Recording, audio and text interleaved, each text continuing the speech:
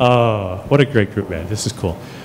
You know, the Mark Ryan, without question, is one of my best friends in the world. You know, the great thing about being here today is there are some pretty people here who just mean so much to me. You know, uh, I've known some people here for a long time, and some people for a short time. But uh, man, Mark Ryan has been through, like Catherine, has been with me through some of the hardest times of my life, and uh, God, you know, just being able to bring him to the front of the room. I've never been able to do this before, and so it's really hard for me because an introduction could be you could just read it off a piece of paper, right?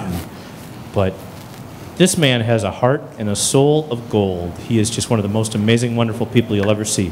Mark is playful. He loves to get inside of people's minds, push buttons, and rearrange furniture. and he's good at it. That's the scary thing. Mark does all the NLP stuff, and he's good at it. He teaches hypnosis too, and he's good at it. I promise he won't put you in a trance like we did last year, okay? With it, somebody else did. Not no, yet. the man is amazing. He, he's been helping me with subliminal videos for maybe four years, five years, six years. We'll talk a little bit about that this afternoon. And uh, there's some pretty neat stuff there. And today, Mark's going to talk about subtle influence, subtle influence, little tiny things.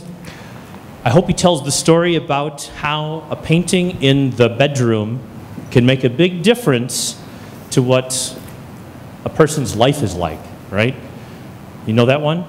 Yes. Just checking. Okay, because I want to hear it. So, um, yeah. NLP, hypnosis, he's a great teacher. He's, he went to Russia last year, taught, I don't know how many people were in the audience, a few thousand people, stood up in front of a group of people who didn't speak his language, and he was absolutely brilliant. Standing ovation, wanted to bring him back again. And he's just one of the most wonderful people on this whole planet. Ladies and gentlemen, please welcome my friend, Mark Ryan.